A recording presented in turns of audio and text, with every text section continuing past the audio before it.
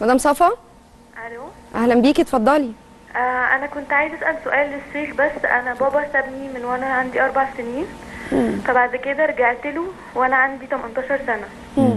عشت معاه فترة كبيرة بعدين طردني.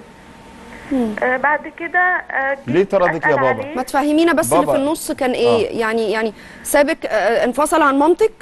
آه هو انفصل عن ماما وسابنا فترة كبيرة لحد ما أنا تميت 18 سنة. خدك خ- هو اللي خدك ماما بقى؟ خدتني ماما خدتني وعشنا معاها إحنا ثلاث بنات. بعد كده جوزت بنتين فبعد كده أنا رجعت له أعيش معاه وأنا عندي 18 سنة عشان ربنا وكده.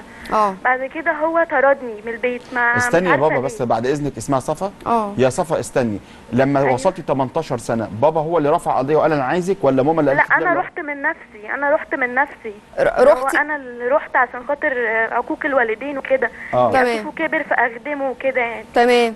بس فبعد كده هو قعدت معاه ست شهور وبعد كده طردني من البيت عنده خالص. ليه يا طردك؟ ليه؟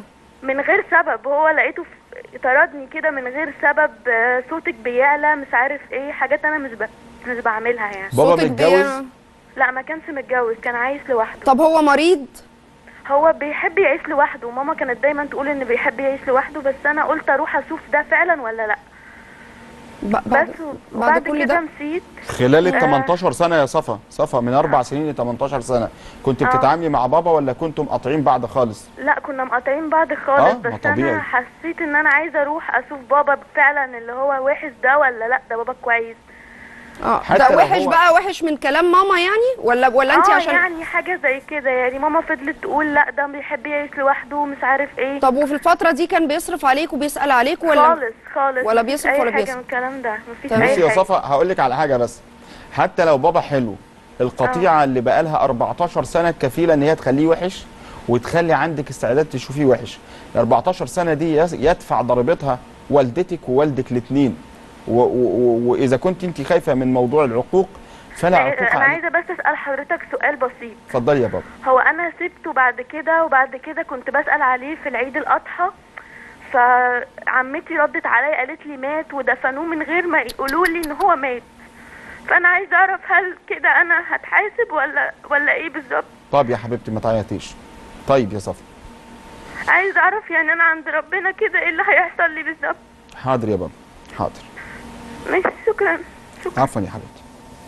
طبعا. بصي يا أستاذة لميا اللي إحنا بنتكلم فيه ده مش خروج عن إطار الدين. اللي إحنا بنتكلم فيه ده مكايدة. مكايدة من أهل أبوها عندن في الأبناء والأم والذي سيتحمل هذه الضريبة مش الصغيرين دول مش الأطفال الصغيرين اللي ما يعرفوش حاجة دول اللي هيتحمل الضريبة الكبار.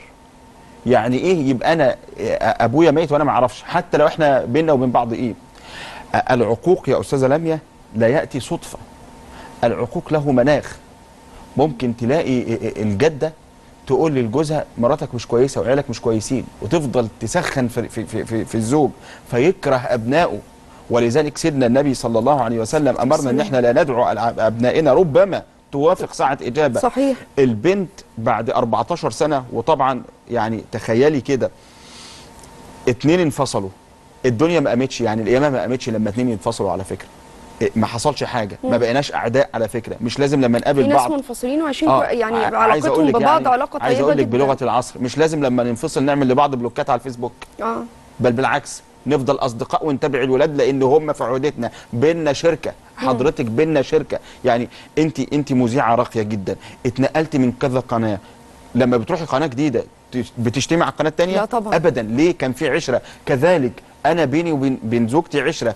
اختلفنا لسبب ما. انفصلنا. بيننا شركة وعشرة ده مش كل الناس بتفهمه يا فضيلة الشيخ يعني لازم ناس كتير. كده تقول لك هو إحنا يعني إحنا وإحنا بنطلق كنا مبسوطين يعني بنضحك ما إحنا كنا مقطعين بعض. يا ست الكل الغالية. قليل قوي بقى الناس اللي بتبقى يعني قادرة مش هحمل تفهم الدين كويس ده. قوي. ليه مش هحمل الدين ده؟ لأن قبل ما يجي الدين عبد المطلب اللي هو جد سيدنا النبي كان بيراعي أبنائه قوي فلما عبد الله ابنه اسمه طلع بأنه هيذبح عاطفة الأب قالت لا ابني ما يذبحش طب يا إخوانا شوفوا لنا حل. يا جماعة يا كهنة يا اللي في معبد الأوثان أنتوا وهم بيعبدوا أوثان. بس تخيلي هم كفرة. بس هو أب. بلاش ابني يتذبح بلاش. اعملوا لي مساومة. ففدى ابنه ب 100 جمل وهو كافر. الدين ما جاش يقول لنا دول ولادكم. الدين جه يقول لنا في, في ديكورات بقى تعملوها وانتوا بتربوا الولاد. فاللي بي اللي بيحصل ده ليس نتيجة الدين فحسب ده مجتمع. يعني إيه عمة ما تخبي على أولاد أخوها إن أبوهم مات؟ صعب أوي، دي مكايدة. أوي، صعب دي. أصبحت مكايدة. هجاوب على صفا. يا صفا إذا كان في نيتك بر بابا ادعي له وترحمي عليه وقولي يا رب سامحني وإن شاء الله لا ذنب عليك. وهقول كلمة صغيرة. اتفضل. لما أكون أنا مسافر بشتغل و و و أو حد مسافر يشتغل وأبوه أو أمه يموت ويدفن وهو مش موجود مش لازم أرجع أتخانق. مم. أنا مش هخش النار لأن ابويا اتدفن وأنا مش موجود. اي نعم في حزن. لكن مش معنى كده اني متجاهلك لأن اكرام الميت دفن بن- طبعا في ما مش هيستنوه ده مسافر. آه في الأرياف بنشوف مشاكل بقى. آه واحد خلوه قاعد لحد ما ارجع طبعا. أو واحد يقاطع عمه أو أو أو خاله لأنه قال لا هندفن وما يجي براحته. يقول له هو يعني كان عدم ولاده؟ لا ما عدمش ولاده. بس يحمد ربنا إن في حد أكرمه وأنت مش موجود. بس أنا عايز أقف معاكي في المشهد ده. تخيلي البنت اللي لسه طالعة دي اللي لسه طالعة دي اللي كان عندها يعني فكرة إن هي عقت أبوها. لما تعرف إن عمتها عملت كده هتطلبي منها إنها تصل رحم؟ ما هو دي حاجة تانية بقى. يعني تخيلي ده؟ دي حاجة تانية بقى.